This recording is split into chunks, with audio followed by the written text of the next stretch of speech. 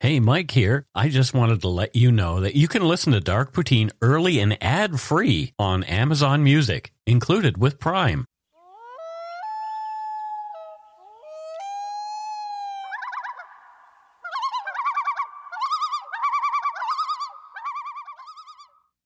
Alrighty. Welcome back to Dark Poutine. Matthew forgot his computer, so he has to use mine. I have yours, and there um, a reminder has just come up in your calendar yeah, that says Dark Poutine episode tomorrow. tomorrow. Yeah. yeah. Funny how that works. Anyway, I am Mike Brown, and this is Matthew Stockton, and we're doing a bit of a, a different thing this week. We're going to update some cases that uh, are very interesting, but we covered them a long time ago. But I'll get into that in a sec. First, let's uh, do the thing. The views, information, and opinions expressed during the Dark Poutine podcast are solely those of the producer and do not necessarily represent those of Curiouscast, its affiliate Global News, nor its parent company, Chorus Entertainment. Dark Poutine is not for the faint of heart or squeamish. Our content is often intense, and some listeners may find it disturbing.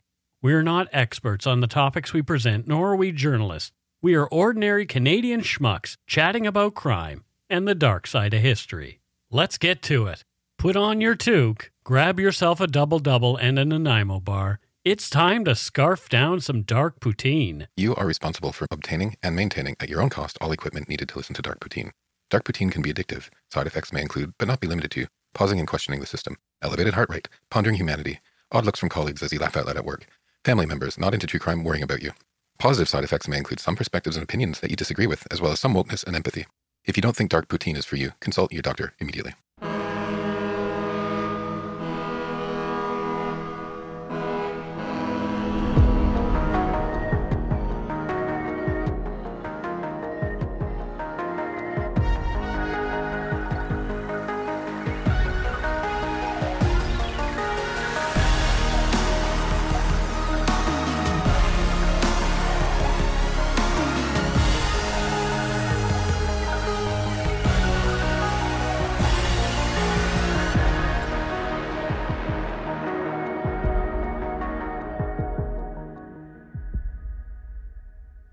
This episode, we're providing updates on two historical shows now recently solved by way of DNA technology and genetic genealogy.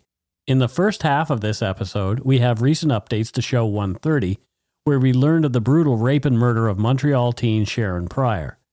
We can finally answer the question posed in that episode's title Who Killed Sharron Prior? In the second half, we go all the way back to episode 13 Babes in the Woods, Stanley Park. In that show, we learn that in 1953 in Vancouver's Stanley Park, the skeletal remains of two young boys were found. They had been murdered around 1947 with a hatchet that was found nearby their bones. The boys' identities remained a mystery until 2022 when their names were finally restored. You're listening to Dark Poutine episode 271 Case Updates Sharron Prior and the Babes in the Woods. Sharron Prior, a vibrant 16 year old secondary school student, mysteriously vanished on Saturday, the 29th of March, 1975, from Point St. Charles, a neighborhood in Montreal where she resided with her family. After bidding her mother farewell, she set off on foot to rendezvous with her friends at a local pizzeria situated just five blocks away. And that was the last occasion that Sharron was seen alive. Three days following her disappearance on April 1st, Sharron's severely battered remains were discovered in a field in Longueuil, a different suburb of Montreal situated across the St. Lawrence River from her home. She had been sexually assaulted and murdered. Sharron's family and law enforcement tirelessly pursued her assailant for nearly half a century. In a recent development, very recent, the identity of Sharron's murderer has finally been unveiled. Before we get into recent updates, let's refresh our memories of Sharron's family, her life, and the crime itself. Yvonne, Sharron's mother, was originally from England but migrated to Montreal as a young girl. The family settled in Point St. Charles, known to the locals simply as the Point. This area is one of the city's oldest neighborhoods. Here, Yvonne encountered George Prior, who was serving as a private in the Canadian Armed Forces. Their shared affection blossomed into love, leading to marriage. They were filled with joy when their first child, Sharron Kim Prior, arrived in the world on February 9, 1959. Sharron's family was blessed with identical twin sisters a day before she turned two. Sharron regarded Maureen and Doreen, in her cheerful innocence, as her personal birthday gift. As is customary with military families, George Prior was reassigned, taking him to Manitoba, which meant leaving behind Yvonne's cherished neighborhood of Point St. Charles. Their youngest child, George Jr., was born in Manitoba. Affectionately known as Jojo by his family, he completed the Prior clan. My BFF actually lives um, a f- literally a few blocks from where this happened Wow. in in the Point. Yeah. So I was talking to her this morning about it. Mm-hmm. I thought, um, hey, let's get a little bit of background. Sure. It was predominantly an Irish working class neighborhood. Okay. A lot of poverty. Yeah. Um, Yep. Uh, so it was it was mostly an anglophone neighborhood back then, and Meredith is saying that uh, it started getting gentrified in the '90s, like the hipsters started coming in, Sure. and she said it's nicer now, but it's not the best looking neighborhood. It's tiny little row houses, Okay. right? And we think I think those row houses aren't that bad. You know, I kind of like them in a way. They have a, a certain, yeah, they- yeah, they, hearken to a certain era. yeah. There's just not a lot of. Uh, trees in front of them. Like Okay. I've been in this neighborhood a lot, Sure. right? And we think maybe Yvonne liked liked it because it sort of has a bit of a European feel to it. Oh, maybe. maybe that's what reminded her of it and uh, so now you know you can you can get nine dollar ice cream cones um, but at the same time there's still old families and there's still some poverty so it's one of those mixed neighborhoods right oh, now. gentrification. Yeah, yeah. There was strife in the relationship between George Sr. and Yvonne, and it became untenable. And in 1966, they decided to part ways. Yvonne, with her four young children, made the decision to return to the point. Although the split was difficult, the Prior kids kept their heads up. In all accounts, Sharron is depicted as a gentle, kind hearted, and giving individual. Photographs shared on the family maintained website, SharronPrior.com, back this up, presenting Sharron as a delightful blonde haired girl possessing a reserved grin and a warm, inviting countenance. According to true crime blogger Michelle McNamara, author of the unrelated book I'll Be Gone in the Dark, Sharron was a tender hearted soul. According to Yvonne, embodying the responsibility and care often associated with a little old lady. Hmm. Sharron, a passionate animal lover, would take in abandoned animals, nursing them tenderly. She dreamt of one day becoming a veterinarian. Once the family discovered some turtles while on a trip to the country, and in her passionate spirit, Sharron decided they deserved a suitable environment to flourish. The memory of Sharron in the backyard amidst turtles carefully crafting a special home for them is still vivid in Yvonne's mind. Yvonne said wistfully, quote, Oh, how I wish we were talking about chocolate turtles instead. That's a really sweet story but i'm kind of like well maybe the turtles in their natural environment would have been fine yeah, maybe. Right. hey they need a better home they are where they are naturally born Yeah, they're doing they're doing just fine. those chocolate turtles Yeah. always remind me of my mom because for some reason when I was a little kid, Mm-hmm. I think she liked. She, I thought she liked them. Uh-huh. From about seven, any sort of Mother's Day or Christmas or her birthday, bought her turtles? always a box of turtles. And she hated them. I don't know. I'm gonna. I'm gonna ask her. I, like, I, maybe she's just being nice every time I gave them to her. Maybe. One of the photos often shared of Sharron Prior shows her at 13 years old in a cap and gown as though she were graduating from high school. During that period, Yvonne managed a second-hand clothing store, generously providing clothes to needy people. Sharron came across an outfit in the donation bin, put it on, and played out a mock graduation, while Yvonne captured the moment in photographs outside their home. Unbeknownst to Yvonne at that instant, she was never to witness this scene play out in reality at Sharron's actual graduation ceremony. And we talk about that often. Sort Mm-hmm. of all all the missed opportunities uh, in life when somebody's taken away like this. Right. But uh, I was looking at photographs of of her uh, online. Mhm. She was gorgeous. Yeah, she's very pretty. Like you kind of get like 1970s movie star she could have been. Yeah, right? Yeah. yep. She was beautiful. Yeah. Sharron was deeply engaged with the Boys and Girls Club via the YMCA as she transitioned into her teenage years. One widely shared picture shows her radiating with joy sitting at a kitchen table with her hand confidently placed on the trophy she had recently won from a floor hockey tournament. Sharron's family still displays the photo of Sharron and her prize, and they've also hung on to the trophy itself. Sharron was popular among the other teens in the point. Her buddies always said she was the best looking one in the group. Her best pals said that her looks and popularity hadn't gone to her head and that she was always sweet and kind, if even a bit timid. Looking back, they said the point seemed like the best place to be a kid, with everyone as tight as family. They had each other's backs. They always felt safe there until the awful day that Sharron's body was found. Nothing bad had ever happened before then. A terrible crime, like a murder, can flip a town upside down. It wasn't the same, and no one knew who to trust anymore. Michelle McNamara shared a small snippet from Sharron's diary penned shortly after her 16th birthday bash, barely a month before her disappearance. In this entry, Sharron talks about her boyfriend John, who she had been fond of since grade four. It offers a real peek into what was up with Sharron then and the sort of girl she was. Here's what she wrote quote, They played and sang Sweet 16 and put mine and John's name into it. I was so embarrassed, and John was really embarrassed. I think my mother's so good to me. End quote. That fateful Saturday morning, March 29, 1975, Sharron arose, had breakfast, cleaned up, dressed, and tidied her bed just like any other day. Meanwhile, Yvonne set out for shopping, collecting additional items required for the Easter feast.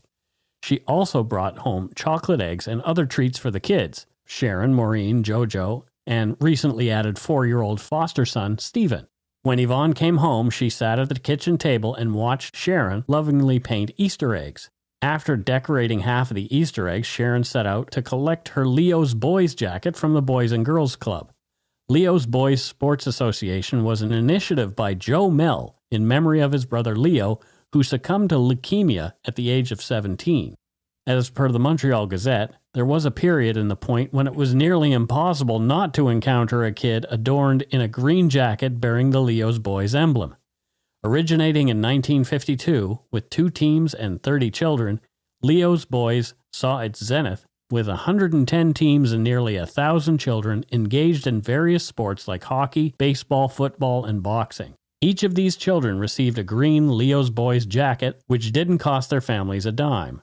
Funds for Leo's Boys were generated through community donations and fundraisers, with the children obliged to sell raffle tickets. Sharron, a regular at the club since the age of six and now a center on her floor hockey team, was keen on earning one of those jackets, and she had sold enough raffle tickets to secure one. She asked her mother Yvonne if she could take her four year old little foster brother Stephen along. Once Yvonne gave her the green light, they embarked on their journey with foster brother in tow. However, when they arrived at the club, they were informed that her jacket size wasn't available. They reassured her that it wouldn't be long before she could collect her jacket and provided her with a receipt for future pickup.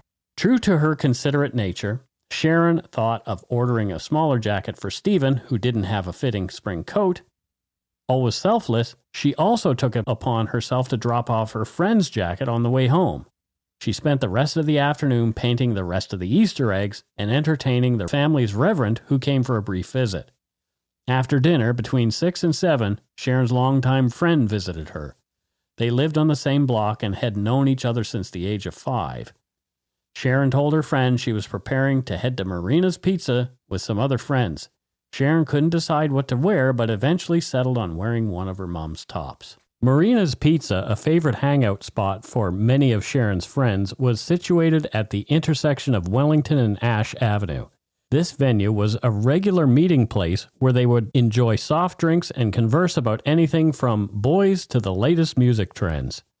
Despite being only five blocks, 650 meters away from Sharron's home, a seven minute walk, Sharron hesitated to wear her brown suede jacket due to the rain, but her mother assured her that the drizzle wouldn't harm it. At around 7:10 p.m., Sharron headed out the door, calling out "Goodbye, Mom," to which her mother responded with her usual "Goodbye, Sharron. Be careful." Her friend, already waiting downstairs on the sidewalk, offered to accompany Sharron to Marina's. However, Sharon graciously declined the offer, crossed the street, and continued her journey alone. Sharron Prior never made it to the pizza shop. You know, the one thing I notice about this is it, what strikes me is when somebody goes missing, Mm-hmm. it's always so, nobody ever gradually goes missing, Yeah. right? It's just life, daily life's happening, and then suddenly gone, Yeah. right? There's no gradual buildup to any of this. No. Uh, and the, the shock it must be to, to the, the, the family, the community Yeah. is huge. It, yeah, it's hard. To, it's like hard to wrap your brain around when something happens that quickly, Yeah. if and, like ever. and you must be thinking as well, hey, if she stayed and talked to me for five more minutes, would the person who did it like had turned Yep. the corner and not seen her or something like this, right? Yeah, it's interesting. Uh, uh, some friends I know usually refer to that as seconds and inches. We Yeah. don't know how close we've come to Seconds and centimeters. seconds and centimeters in Canada. Yeah. When Sharron didn't arrive at the pizza place, her female friends assumed that she had just gone to the Montreal Forum to watch the Canadiens game with her boyfriend John and some other boys. But when the boys arrived at Marina's Pizzeria after the game, Sharron wasn't with them. They hadn't seen her all evening. A friend called Sharron's home asking after her at around 9 p.m., but Yvonne said Sharron had gone out around 7. The friend related that there was an attack on another woman named Cheryl Roy on Ash Avenue around the time Sharron would have been walking in the neighborhood. The man had put a knife to Miss Roy's throat and demanded she follow him. She fought. Another group walking in the neighborhood had scared off the attacker, and the perpetrator had fled in the direction Sharron would have been walking. Cheryl Roy was later able to describe the man. He was white, he spoke English, was tall, around six feet two inches, with light brown hair, blue eyes, and about 200 pounds with a mustache. He was wearing blue jeans and a royal blue ski jacket and was presumed to be in his mid to late 20s. After that phone call, Yvonne, of course, began to worry. She instinctively knew that something was wrong and began calling around, eventually involving the police at around 2 a.m. The family was worried for the next three days, and especially when a semi nude body was found on April 1st in a wooded area in Longueuil. Her mom found out about the body's discovery through a neighbor's newspaper and immediately knew it was her Sharron. Sharron's twin sisters later recalled Yvonne's screams on seeing the photo in the paper which showed a body lying in the snow. The family's worst fears were confirmed. Sharron had been bound with her coat, brutally beaten, raped, murdered, and left in the snow. She'd choked to death on her own blood due to the beating her killer had inflicted. Her pants had been removed and lay nearby. Her shoes were still on her feet. Police and Sharron's family believed that the earlier attack might have been related, but they were unable to identify that perpetrator at that time. The point had lost its innocence, but Sharron's family never gave up hope that her murder would one day be solved. Although there had been numerous leads and suspects in the intervening years, solving Sharron's murder was always a priority for the Longueuil police.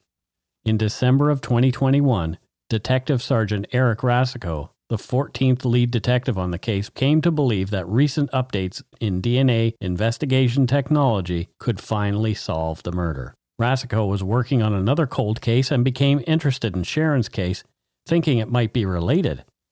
Racicot dove into eight boxes worth of witness interviews and reports, meticulously looking for clues that earlier investigators might have missed. Racicot made sure to keep the Prior family informed of every new development. They'd been doing their own investigating over the years and had suspected several people, most local to Montreal. Nothing panned out. They themselves had contacted investigators before Racicot came onto the case about a recently solved case in Toronto, that of Christine Jessop, that had been solved using genetic genealogy. They were excited by the possibility of resolving Sharron's case using the same technology. DNA had been extracted and given to Parabon for genetic phenotyping, but no suspects had been identified. Racicot discovered that items related to Sharron's murder, particularly the clothing she'd been found with, had been well preserved. Looking at crime scene photos, it struck Racicot that Sharron's shoes were still on her feet, even though her pants had been removed. This would have required significant effort on the part of her attacker and hopefully might have left his DNA on her pants. Racicot was correct. DNA samples were extracted from Sharron's pants, a shirt, and panties, and another profile was created. Yeah, that's so smart. It, it seems so obvious, but Mm-hmm. to sit there and like look at the photos and go, wait a minute, Yeah. you know, that would have been difficult. So therefore, I might be able to get some DNA. Yeah. Yeah. It's pretty interesting thinking. Like, I wouldn't have thought of that. Right, but I guess that's what he's paid for. I guess so. yeah. The suspect's profile was uploaded to GEDmatch for genetic genealogy, just like in our recent episode 268. There was a hit, but it was a name that had not yet been suggested. The results of the genealogy trace led to a family in the U.S. that had four female and four male children. One of the brothers was very likely the suspect in Sharron's murder. Two of the brothers were deceased and two are still living. One of the deceased brothers had a long criminal history involving sexual assault, among other crimes, and was not in prison at the time of Sharron's murder. He was believed to have been in Quebec, having fled prosecution in the United States for other crimes when Sharron Prior died. He himself was 36 years old when he died in 1982, making him 28 at the time of Sharron's death. His family had buried him in West Virginia. The man's living brothers, one in Sarasota, Florida, the other one in Huntington, West Virginia, agreed to DNA tests. Both suggested they were not surprised that their brother had been involved in a murder, as he'd been violent all his life. In the first week of December 2022, Racicot and the other investigators on the case received the DNA sample from West Virginia and sent it to the lab in Montreal for matching. The second sample followed soon after. The samples came back as a match. The two living brothers matched with a high probability, 140 million to 1, that their deceased brother was Sharron's killer. Racicot was able to let the Prior family know about the positive results three days before Christmas. Racicot's next steps were to request the exhumation of the suspect's remains from his gravesite in West Virginia for testing, just to be sure they had the right guy. The exhumation finally occurred on May 2nd, 2023, with Racicot and other Longueuil investigators and evidence technicians present. Samples were collected from the man's bones and again sent for comparison with the known samples from the crime scene.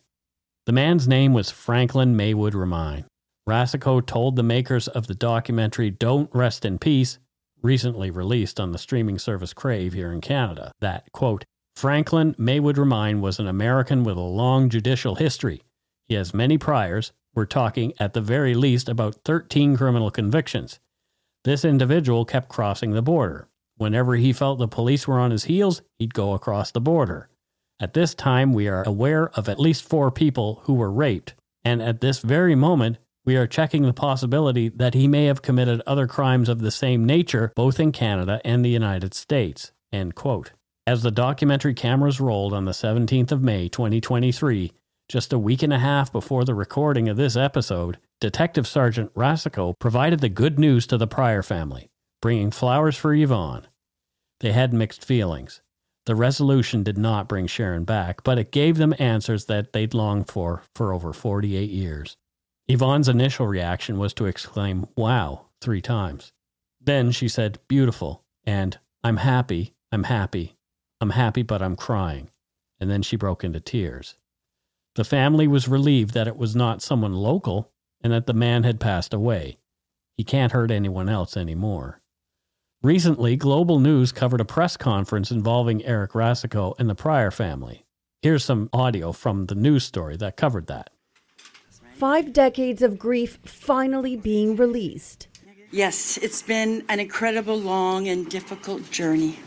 A journey that has come to a conclusion as police have finally found the person who killed their big sister, Sharron Prior, in 1975, thanks to DNA technology. The murderer is now known as Franklin Romine, a man with a long criminal record in the United States and Canada. He was always play, playing hide and seek uh, with law enforcement. On Saturday, March 29, 1975, Sharron was on her way to meet friends at a local restaurant, but she never made it. A few days later, her body was discovered in a wooded area in Longueuil, raped and beaten to death.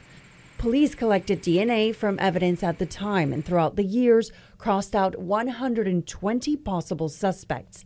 Her mother engaged in a dogged pursuit alongside investigators, but Romine was never on their radar. That's until new DNA technology emerged last year. Labs were able to submit a full DNA analysis to several ancestry websites and matched a family of four brothers in the United States. One of them lived in Montreal at the time of the murder. When, when we first met them, they told the investigator right away that uh, he's probably uh, the, the, the killer of Sharron Prior. Romine died in Canada in the 1980s and was buried in West Virginia. Longueuil police worked with American authorities, filing a court request to exhume his body. The DNA on the clothing found at the scene was a match, the final piece to prove beyond a shadow of a doubt that he was the murderer. Knowing that her killer is no longer on this earth and cannot kill anymore brings us to somewhat of a closure. The new set of DNA techniques used to solve the murder will now be known as Sharron's technique. And with it, police say they are on the brink of solving several other cold cases this year, hoping to give closure to more families. We love you, Sharron, now. May you truly rest in peace. Gloria Henriquez, Global News, Longueuil. After a quick break, we'll be back with an update on the Babes in the Woods case.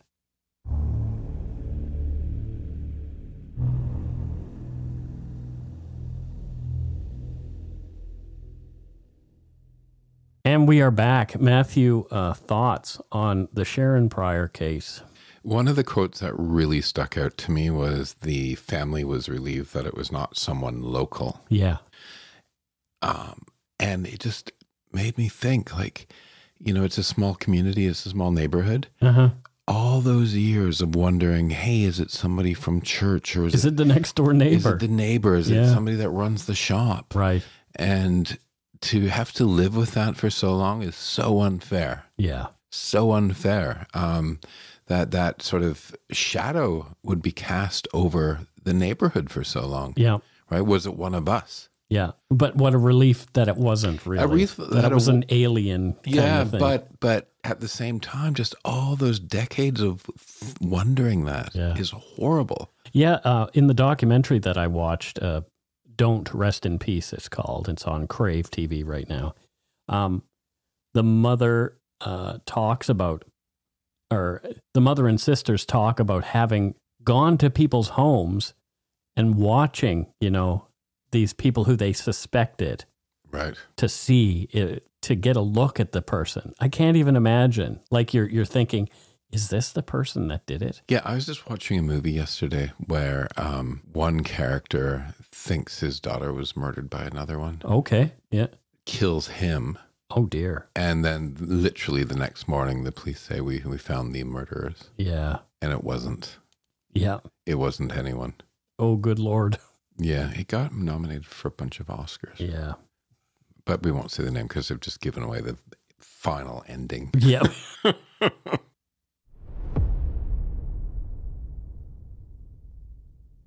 Our second update goes all the way back to episode 13 of this show, titled The Babes in the Woods, Stanley Park. On Wednesday, January 14th, 1953, the remains of two young male victims, estimated to have been murdered around 1947, were found in Stanley Park, Vancouver, British Columbia. The investigation revealed a hatchet at the scene, typically used by shingle weavers and lathers, which was identified as the murder weapon responsible for the fatal blows to the boys' heads. The bodies were meticulously positioned in a straight line with the soles of each boy's feet facing the other, and they were shrouded by a woman's rain cape. The course of the investigation was impeded when the coroner initially misidentified one of the victims as female. However, a DNA test carried out in 1998 confirmed that both victims were indeed male and were related as brothers. They were estimated to be between 6 and 10 years old at the time of their tragic slayings. Thanks to genetic genealogy, once again, they've been identified.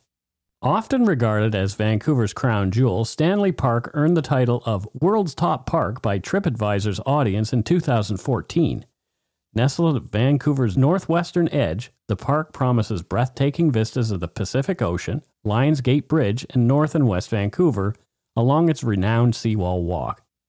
For those seeking tranquility, the park's densely wooded walking trails offer a serene retreat with countless attractions and activities. A visit to Stanley Park is a must if you're traveling to Vancouver.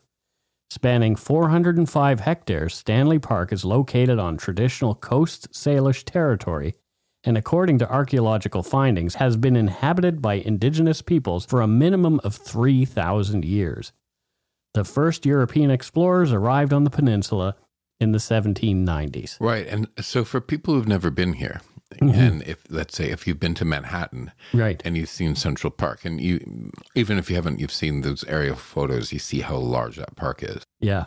Stanley Park is actually bigger than that. It's about 65 hectares larger. Right. It's massive, and and unlike Central Park, it's not manicured. Right. Like yeah. it, it's not. it's sorta- not man made. Right. It's Yeah. it's so much of it is old growth forest. It's it is preserved. Yeah. It's a forest. Yeah. It's literally a forest with some walking paths through it. yeah, I love Stanley Park and It's uh, beautiful, and and the, the old Douglas firs, some of them get to to to about 600, 260 feet tall. Like, Right. These are huge trees. there's a big tree that uh, is now burned because of a lightning strike. By beaver, the, the Yeah. yeah. And um, there's a photo of me standing in front of that tree at six years old with my family when we were here from Nova Oh, really? Scotia visiting. And uh, that's the photo that I point to where everybody else looks very Norman Rockwell and I look very Salvador Dali, like a crazy maniac. Little maniac child. Yeah. It wasn't burnt in the photo, was it? I don't think it was, no. Okay. Due to its strategic location, Stanley Park became a military reserve safeguarding the port of Vancouver through the first Narrows. Even today, the Naval Reserve Division HMCS Discovery is stationed on Dead Man Island. We've talked about that before. In 1886, the city of Vancouver leased the military reserve for park use. Two years later, the park officially opened and was named in honor of Lord Stanley, Canada's sixth Governor General.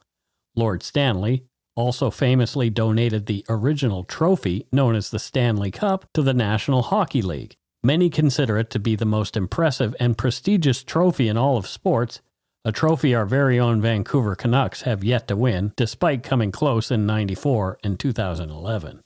On January 14, 1953, Albert Tong, a Vancouver Parks Board employee, stumbled upon a chilling discovery while clearing the brush in the park for fire prevention, halfway between the Lionsgate Bridge and Beaver Lake. His foot struck a hard object beneath the underbrush, which emitted a loud crack. On further inspection, he unearthed a human skull, and to his terror, he found two skeletons beneath a woman's fur coat. Tong delayed reporting his grim find until the following day, and the reason behind this delay remains unclear. Upon receiving the information, Vancouver police officers reached the site and commenced their investigation.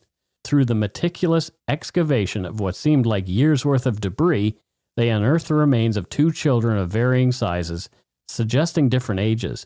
The smaller skeleton was found face down, adorned with a World War II leather airman's cap. A matching cap was found near the larger skeleton, along with aviator goggles.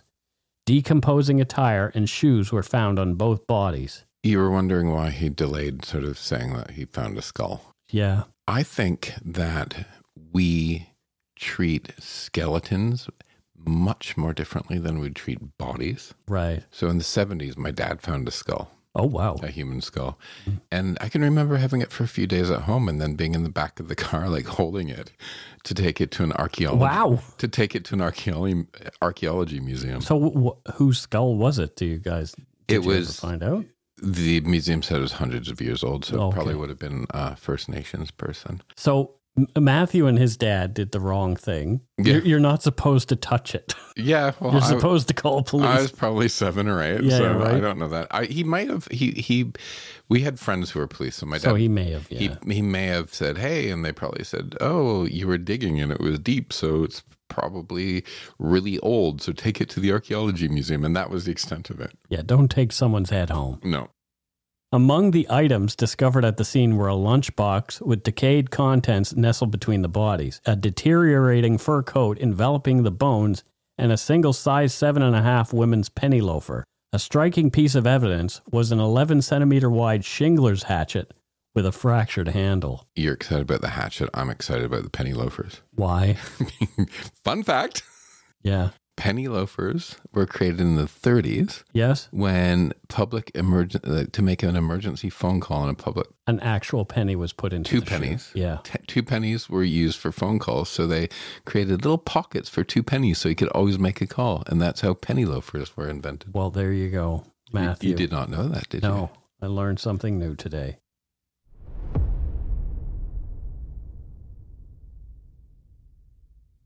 All collected evidence was transported to the city morgue.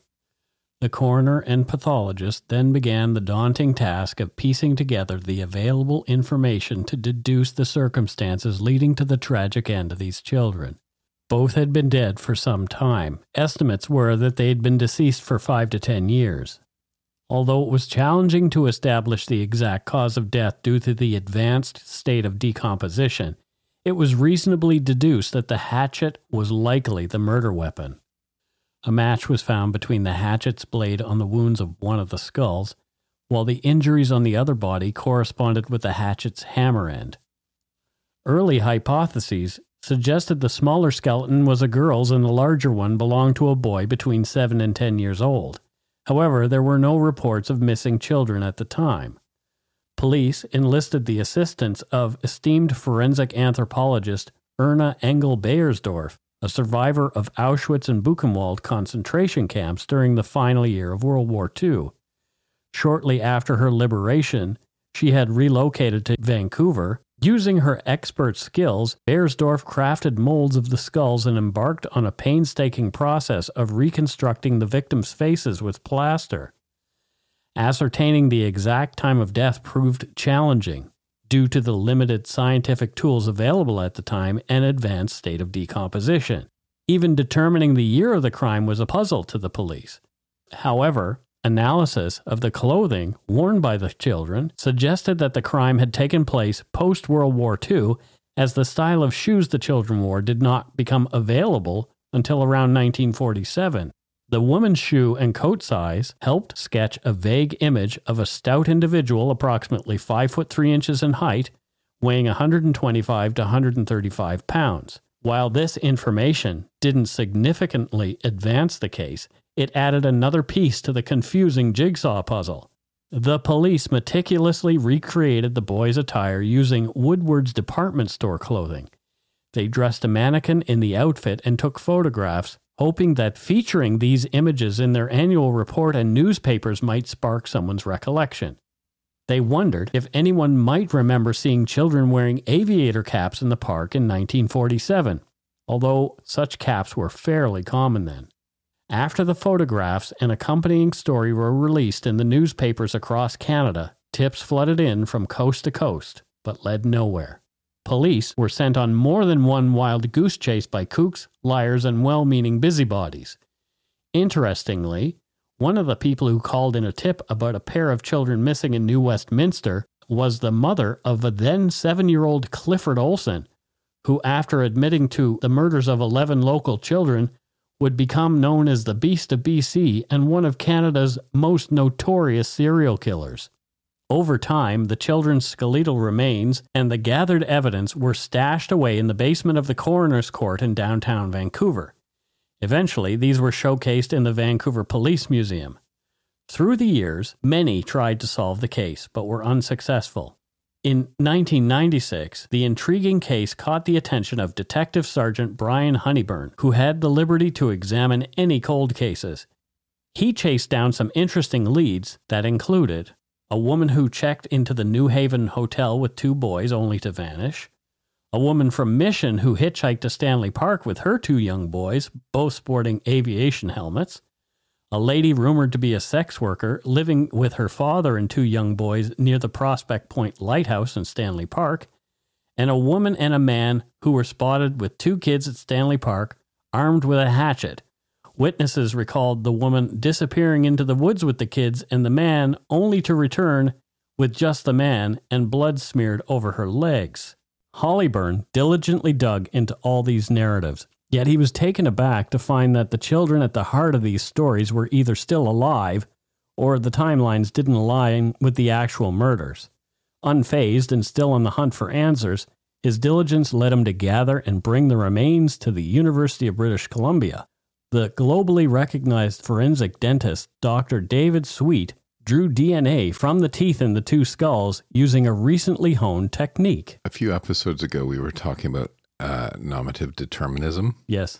Where your last name sort of might determine what you are. Yeah. This is a good one. Dr. Sweet, the dentist. Dr. Sweet, yes, because you've eaten too much sugar. Now you need a dentist. Yeah. So he decided to be a dentist because his name was Dr. Sweet. Of course he did. DNA tests altered the narrative. The victims were two boys, not a boy and a girl as previously assumed. Over the years, the police had been following leads about a missing boy and girl often sidelining tips about two missing boys. Perhaps, had they had the facts initially, the case would have been solved much sooner. Honeybourn had the boys cremated in the late 1990s. In 2008, he took a police boat out into the ocean near Kits Beach, where he scattered their ashes. In 2014, he spoke with Glenn Schaefer of the Province newspaper, and his obsession with identifying the boys remained. His hope was that one day DNA technology would improve to the point that the boys would be given their names back. Honeybourn said, I still think about it. It would be the right thing to do even at this time, to identify those little boys. At least let's do that for them. End quote. Honeybourn's wish finally came true in 2022. In 2021, the last lead investigator on the case, Detective Constable Ada Rodriguez, oversaw using the boys' skulls to obtain DNA once again. The extracted DNA profiles were sent to Redgrave Research Forensic Services, a company specializing in genetic genealogy based in Massachusetts. They uploaded the DNA data to GEDmatch, cross comparing autosomal DNA data from various testing companies. After 24 days of cross matching, Redgrave located a potential DNA match on January 31st, 2022. From a Vancouver Sun article, quote, a family member preserved and uploaded their DNA to the genealogy site MyHeritage, hoping that the boys might still be alive. Instead, the family got a call from the police. Quote, One can only imagine what it feels like to have a homicide detective call you and say, we think you might have a relative to a couple of victims in a historical file, said Rodriguez. The boys were identified as Derek Dalton, born on February 27, 1940, and David Dalton, born on June 24, 1941. Over time, the police successfully identified the maternal grandparents of Derek and David and gradually unveiled more about the boys' lives. Derek and David were raised in British Columbia and attended Henry Hudson Elementary School in Kitsilano. They spent their whole lives in BC, but the circumstances that led them to Stanley Park at the time of their demise remain a mystery. According to a VPD news release, quote, Vancouver Police Department now believes that Derek and David were descendants of Russian immigrants who came to Canada at the turn of the 20th century. The victims, who lived in Vancouver, had a family member who lived near the entrance to Stanley Park at the time of their death. Investigators theorize the person who killed Derek and David was likely a close relative who died approximately 25 years ago.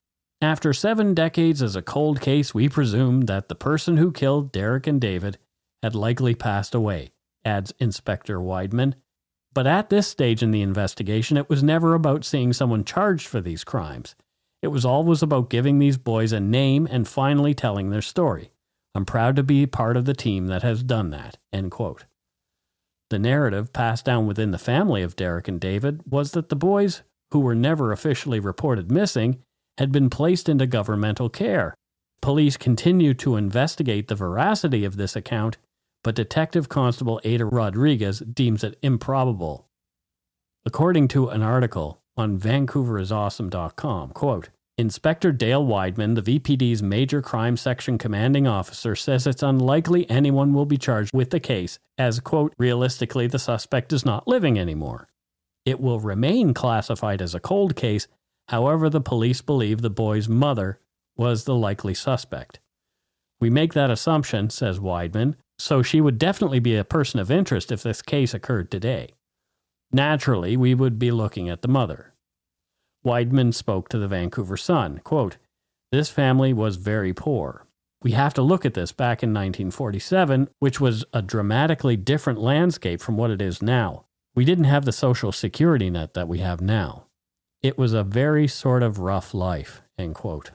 Although police refused to release the mother's name, true crime writer and friend of the show, Eve Lazarus, wrote that the woman's name was Eileen Bousquet and that she'd passed away in 1996. Question Yeah. Why would the police refuse to um, release her name?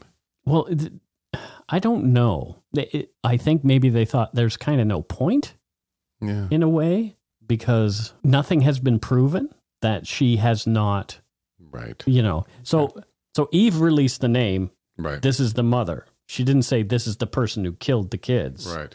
Because at this point, this is still a cold case Yep. and has not been solved. So you you don't want to say the mother did it. Unfortunately, will probably be always be a cold case at this point in time. Hundred percent, it will. Yeah. yeah. Yeah. Um, but pre- the presumption is that she was responsible. That's the presumption. So did did you did you do these stories because um, of my discussion about not liking these uh, genealogy send your DNA things in? No, because I'm like, oh, he's going right for me now. of course. so Not that you're self-centered or anything. no, no, I was reading it. and I was just chuckling because we had the debate, right? And there- there's been a lot of like discussion on it in, in the uh, in the lumber yard. Yeah, it was just time for updates. Yeah, and no, especially I the know that. Sharron Prior one. Uh, you know, it's eight nine days since Yeah, her family really- found out. Yeah, So yeah. when we're recording this, so it'll be a couple of weeks when you hear it. But uh, but yeah, it's it was like whoa. yeah, So I had to do it, and I've known about uh, the uh, Babes in the Woods update obviously for over a year. yeah. I mean, the Babes in the Woods. It's, it's uh, a very long time ago. Yeah, and p- probably not many people taking solace but i hope at least knowing uh at, at least knowing the truth now yeah, i hope it helps uh, her family um because I, you know that's just you know you look at those photos of her and all everything she had look to look forward to and it's um you and- could see a lot of relief in uh, Yvonne Prior's face. yeah And like I said earlier, it was mixed emotion. Like you could see she was relieved, but also sad. Like of course right? it's a thing that she's been hoping for for a long time, but not not a joyous thing. no because know. at the same time it's just Doesn't bring Sharron back. it doesn't bring her back and she probably thinks of sharron every single day Mm-hmm. but also it just brings the whole thing back the whole the whole day back right And and back to the the kids from the Babes in the Woods, the Dalton kids. Um, they their family didn't know what happened to them. They just thought they had been in care all these years, and were hoping maybe DNA would show up. Uh, you know, their DNA would show up somewhere in some database, and like, oh hey, you're our cousins or you're our brothers or whatever. so what i find interesting is so this ge- genealogy stuff with dna Yeah, can literally figure out whose bones they are yeah, but they can also find skeletons in family closets that people don't necessarily want oh totally. Right, I was talking to my friend this morning about this when I called her about about the Point neighborhood, Mm-hmm. and she was telling me of a story she had, she had read where there's this like 82 year old woman who had had a daughter and gave her up for adoption, like 64 years prior, Yep. and somehow through this genealogy thing, the daughter figured out who her mother was. Mm-hmm.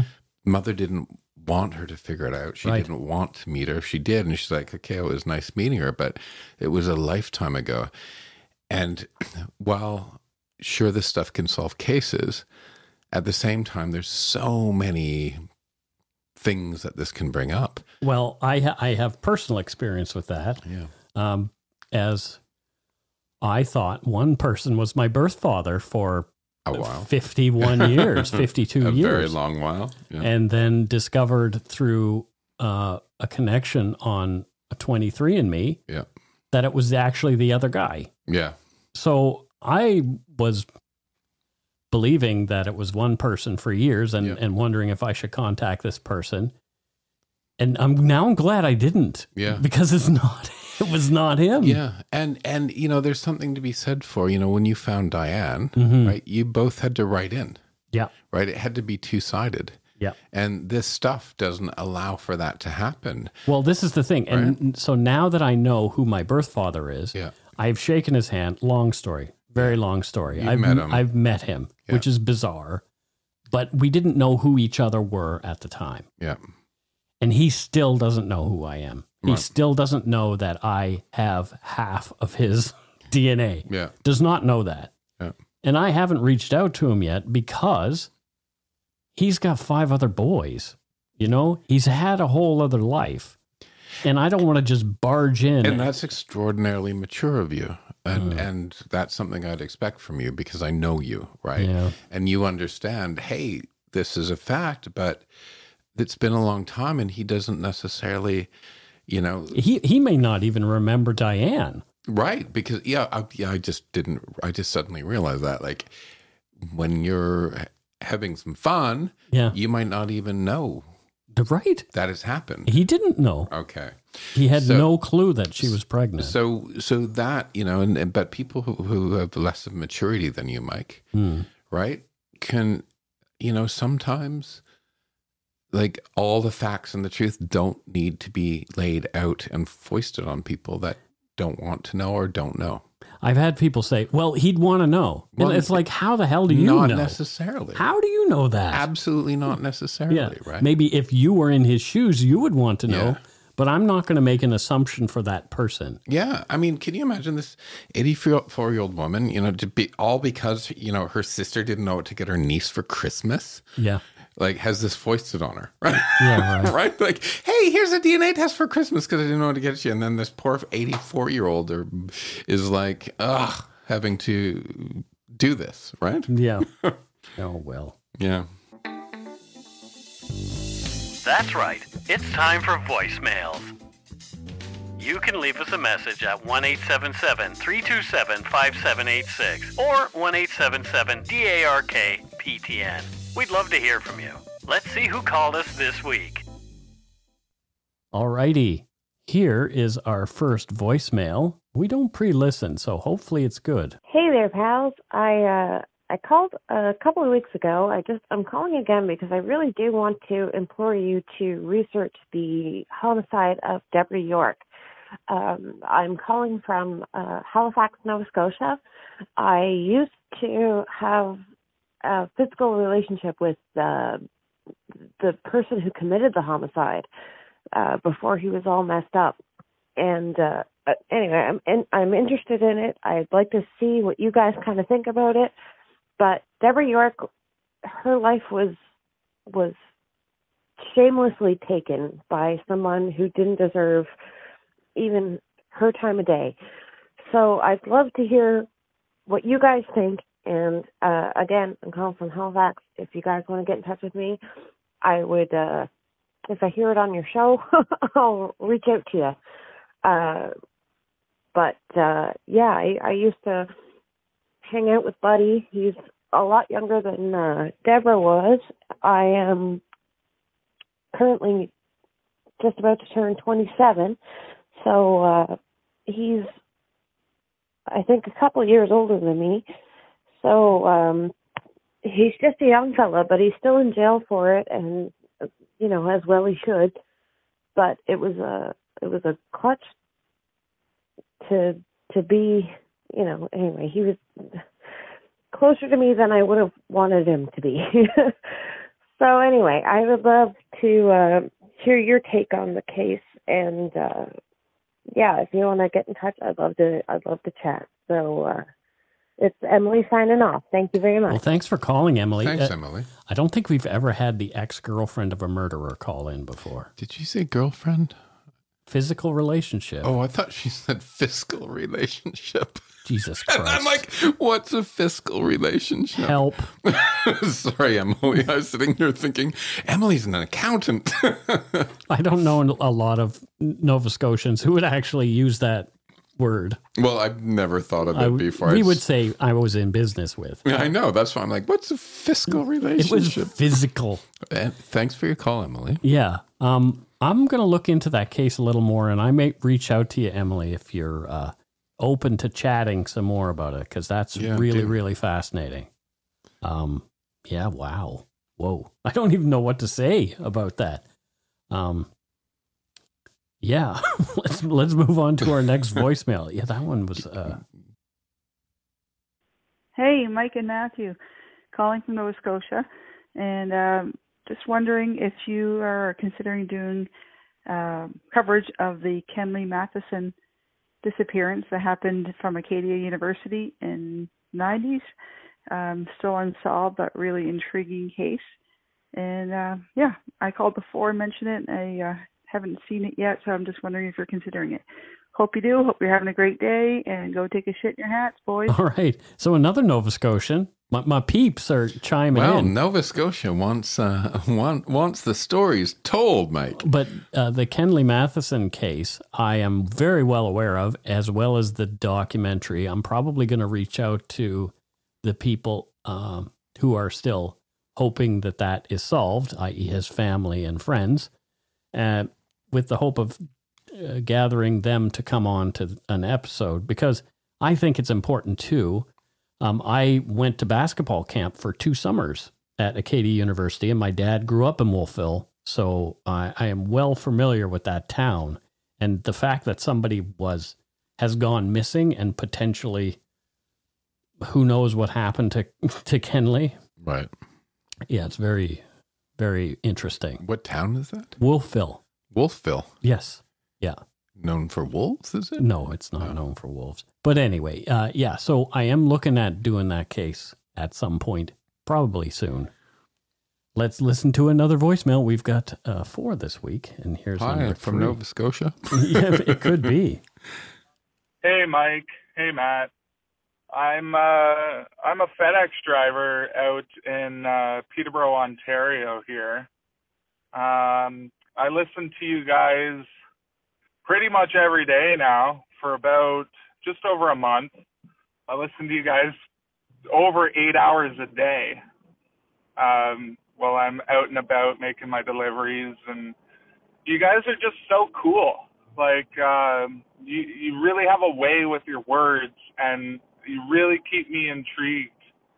Um, you know, even when I'm out and about and I'm getting really tired and I'm just like kind of done with the day, I just I I tune into you guys and I I, I turn the radio up, and you guys just kind of really help me get uh, get through those days. And um, yeah, you just have a really good way with your storytelling and uh and Matt, like you you're when you chime in, like it just it ties it all together and your guys' perspectives and and that you put into it and how much um respect and appreciation you have towards these stories is is really evident um in in your stories but uh, yeah, I just wanted to call and, and say thank you. Um, thank you for for giving me so much um, joy. And I know like it's typically like darker sides of things that you guys talk about, but it's it's so interesting and so intriguing to me. Um, but yeah, I I just wanted to say thank you, and I wanted to say uh, that I really just appreciate you guys and your perspective on things, and how respectful you guys are towards the the victims of the stories, and even the comedic chime-ins, like just kind of alleviate a lot of that darkness. Um, but yeah, go take a shit in your hat, and uh, thank you so much. Well, thanks. That that's great. I, I'm really glad that we can help a FedEx driver, you know, manage their day, Get through that day. Because I, I can't imagine, you know, you're. I mean, it would keep you on your toes having to drive to different addresses all the time. was- I kind of thought it would be interesting to to to drive because there's like there's I don't know is I wonder if there's like a freedom to it as well. You're not in an office. Sure. Oh, You for know I sure there mean? and. You're, you're out and about and but then the you're world. also at the whim of the other creatures who are on the road. right and the and the people yelling at you if they Yeah. didn't get their delivery or something. Like Yeah, exactly. Well, uh, I had a FedEx delivery just this week. I'm pretty sure it wasn't this caller, but No, you're not in Peterborough, no, Ontario. no. Um, yeah, and in terms of like the the humor, hmm it kind of comes natural to naturally to me. My family, actually, the way we show love hmm is even in like dark times, as we tell we we joke about things with each other. Sure, So- my family does that too. Yeah, so it's um, I'm I'm glad it's uh, I'm glad people appreciate it, and I'm always always freaked out when people like us. You are? Yeah, How come? because it's just us. you know what I mean? Yeah, it's just You- us. You, know what I mean? It's just us, right? That's we just true. like do the show and, and have a good time and try to tell good stories, and people like it, which is fantastic. Yeah. Anyway, Thank you. thank you so much. And we'll move on to one last voicemail. This looks like a short one, so hopefully they don't tell us to go, you know, really go shit in our hat. Hey, I'm going to try this again. This is my last one. I kind of choked a bit.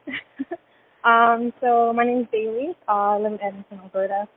I've been listening to y'all for about a year now. Uh, I download about 10, 9 to 10 episodes a day to get me through my stressful days and the form into being a douche canoe. Um, I just want to thank y'all for what you do, bringing light to all these dark stories and bringing everyone laughs. Uh, keep on keeping on and go shit in your hat. There you go. Bailey from Edmonton. Thank you, Bailey. What does Bailey do there in Edmonton, Matthew? What does Bailey do? Yes, She drives an ice cream van in the summertime. an ice cream van. Yeah. Did you ever uh, drive an ice cream van? No, I almost got hit by one once. I used to drive the ice cream bike. That was my first job, the Dickie Dee ice cream bike. Dickie Dee. Yes, In in in London, it was the famous one was Mister Whippy. Mr. Whippy. that So- sounds like something that I did in the toilet. But but Mr. Ba- Whippy. But Bailey drives one's ice cream for adults. oh, so it's boozy ice cream? Yeah, like Bailey's. Oh, you know? okay, I gotcha. Yeah, boozy Yeah. ice cream. Yeah, well, there you go. Yeah. Ice cream that I can't eat. No, yeah, but they have penis shaped ones that you could eat that don't have alcohol in them. They have what? Penis shaped ones, lollipop. I um, thought that's what you said. that you can eat that there's no booze in them. Mm. Yeah, I think I don't know if I want one of those. Suck a dick. Ah. I guess that's it for voicemails.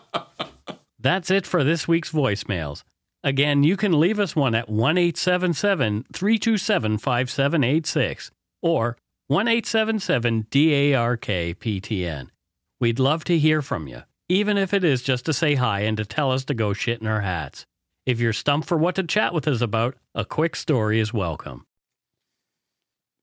Alrighty, it is time for Patreon and Donut Money donors. Dun, da, da, da. And it looks like we have a couple of patrons this week. Nice. Um, first up, we have Marilyn Kingsley. Marilyn Kingsley. And I don't know where Marilyn Kingsley is from, Matthew. Kingston. Kingston, Ontario? It's she's the Kingleys of Kingston. Kingsleys of Kingston. Well, there Yeah. you go. And what does Marilyn do in Kingston, Ontario? So this is a weird one. Oh, they always are. She's a marshmallow sculptor. So she sculpts in marshmallow. Intricate sculptures using marshmallows. Oh, well, there you go. Yeah. That's kind of cool, actually. And they eventually melt. So it's like, what, what do the Buddhists do? They create those, what are those called? They create, Mandala. Ma- they, they're kind of like mandalas because she knows they're going just to sort of Dis- dissolve. dissolve or disappear with the wind. So it's almost performance art, right? That's very nice. Yeah. I like that. My buddy Art, who listens to the show, your buddy Art. Art. Hi, Um, Art. Does he- does he listen regularly? Yeah, he listens. Um, he does um art on, Art- art for art's sake. He art calls for it. art's sake. But he creates little uh stuff on the beach, uh, at, at Nice. uh, a below the high tide line. Yep. So the tide, when the tide comes in, it washes away his little art piece. Hey, Art, Mike and I would like to come over for dinner again sometime. Yeah, right. I'm good Rem- for Remember that meat he cooked? It was so good. yes. Art's a good cook. I'm gonna see if he actually listens to your show, and and we'll know if we get it. Well, I'm seeing him on Monday. We're going Well, going don't for a tell walk. him. Don't tell him. Well, he won't. See, he won't hear it until two weeks from That's now. fine. so. I'll be free in a couple of weeks. There you go. Next, we have. Oh, this is a fun name, Amber Cadabra, Amber Cadabra. and she's from Verdun, Quebec. oh, Yeah. I know where Verdun is. Okay. That's quite close to the story that we're telling. If it's if it's like uh, it's the Verdun neighborhood of uh, Montreal. Yeah, there you go. Verdun. And uh, what does Amber Cadabra do for? I I would hazard to guess she's either a witch or a magician. She's a magician. Oh, there you go. Yes. Yeah. What's her favorite trick? Her favorite trick? Yeah, she's got to have a favorite trick as a magician. They're not tricks, Mike. Okay, her favorite illusion. It's not illusion. It's real magic. Okay. So what's her favorite real magic event? Making people disappear. I'm sure that That- little exchange we just had might have made some people disappear too. The problem is, yep. um, she's kind of in trouble because she can't get them back. Oh, So every time she does a show, somebody goes missing. oh dear. Yeah, Yeah. yeah. So, So, so, people. so she can make them disappear, just not reappear. yeah, so she's having a hard time getting um, people to volunteer for for the show now Well, out of the audience. Well, this makes sense to me, Matthew. I'm I'm not in. I'm not so sure. I would want that to be made to disappear. Maybe, maybe you're, maybe they end up in Hawaii or somewhere nice. They could, Yeah, but I, I don't want to take that chance. Just it could be somewhere bad. yeah, it's like oh, you you wake up at the bottom of a well Yeah, wake up at the bottom of the well or in in a cave. Scarborough or something. Scar- Scarborough. Nothing wrong with Scar. Well, Scarberia. Scarberia. No, I'm sure there's a lot of listeners in Scarberia. There are. There are some. I wonder if one of them have that seventy million dollar lottery ticket that's about to run out of time that was bought in Scarborough. Oh my goodness! Uh, Can like, you imagine? A couple days from uh, from a year, seventy million bucks. Somebody has a ticket sitting in a drawer somewhere or in their wallet, and it That's clock- why I do the app because you clock can't lose it. out. You can't lose it. So when I saw that, I actually quickly went on my diary to see if by chance I was like in a business meeting in Scarborough that week, Yeah. and I wasn't. Oh well. Just in case I'd like, hey, I'll buy a ticket. oh my. I actually checked if I bought a ticket in Scarborough, the other side of the country. Yeah. Well, we don't have any donut money donors this week. Well, we sold some T-shirts. So T-shirts. T-shirts made thirteen bucks selling T-shirts. Yeah. It's not a big amount that we make from T-shirts. It is really not. Because you got to make the shirt first. Well, yeah, but but still, you know, if a thousand people bought a T-shirt, we'd be we'd have some money. But I like the new. I like the "Go Shit in Your Hat" T-shirts. the rainbow one With that I'm wearing right now, Yeah. yeah, it's fun. So you can get that at our Dark Poutine store. If you go to darkpoutine.com slash store, you can see the shirts. Darkpoutine.com slash store. Anyway, uh, that's it. T-shirts and more. Marketing. Thanks to all our patrons and Donut Money donors, past and present, for your generosity. It helps to keep the show going. You can become a patron of Dark Poutine at patreon.com slash darkpoutine. For a one-time donation, you can send us donut money via PayPal using our email address, darkpoutinepodcast at gmail.com. If you don't already subscribe to the show, it would mean a lot if you did. You can easily find Dark Poutine on Apple Podcasts, Spotify, or wherever you listen to your favorite shows. If you haven't gotten yours yet, my book, Murder, Madness, and Mayhem, is available to order via a link on the Dark Poutine website. And speaking of darkpoutine.com, please check it out for show notes and other cool stuff. We'd appreciate it if you took the time to give Dark Poutine a like or a follow on Facebook and Instagram. Most importantly, thank you for listening and tell your friends about us. Word of mouth is a powerful thing. And that's it for this episode. So until next time, don't forget to be a good egg and not a bad apple. Goodbye. Goodbye.